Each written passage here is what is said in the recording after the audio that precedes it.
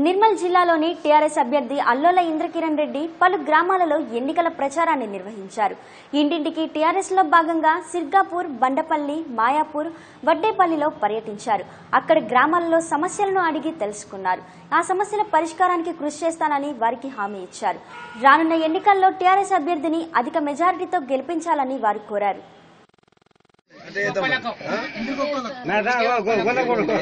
యాభై ఏడు సంవత్సరాలు అరవై ఐదు సంవత్సరాల నుంచి యాభై ఏడుకి ఇష్టం. నువ్వు ఇంతమందిలోకి ఇట్లా నాకు నాకు అత్త లేదంటివి. ఎడగైనా భర్త కష్టం వస్తాను వాటి ఒక కుటుంబం ఎన్ని ఎట్టిస్తా చెప్పమ్మా?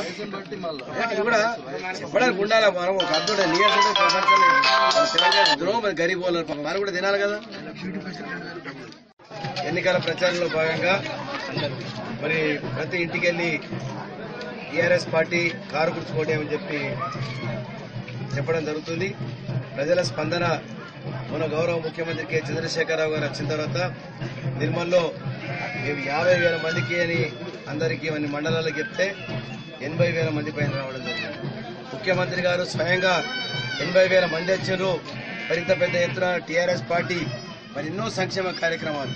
ఇవాళ ఆడపిల్ల పెళ్ళి అయితే ఇవ అమ్మకు ఎవరికి ఒక లక్ష నూట పదహారు రూపాయలు వచ్చినాయంటే వాళ్ళ జీవితాలు మర్చిపోతారా? ఆమె సొంత తమ్ముడు ఒక పది ఇరవై వేలు ఇవ్వమంటే ఇస్తాడా? ఇయ్యడు. ఇచ్చినా గానీ పది రోజులు కాగానే ఏమక్క పైసలు ఏమంటాడు మరి అటువంటిది ఇటువంటి విధంగా కళ్యాణ లక్ష్మిలో ఇవ్వడం జరుగుతుంది. ఇరవై నాలుగు గంటల కరెంట్ ఇస్తున్నాం. ఇదంతా కూడా గొల్లకుర్మ యాదవ్ల యొక్క ఇల్లు. వాళ్ళకు డెబ్బై ఐదు పర్సెంట్ సబ్సిడీ మీద ఊర్లు యాభై శాతం ఇప్పటికి ఇచ్చినాము ఇంకా యాభై శాతము రేపు ఎలక్షన్ ఎలక్షన్ కాగానే ఏప్రిల్ మే వరకు మరి మొత్తం గోర్లను కూడా రావడం జరుగుతుంది.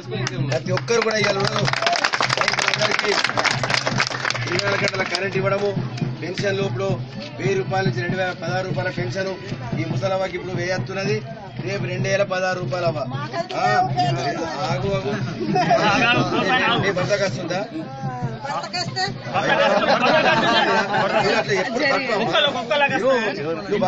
నాకు వస్తుందండి ఇంట్లో కుటుంబం భర్తకు వస్తుందా లేదా మరి భర్త క్యాన్ చెప్తే సూర్య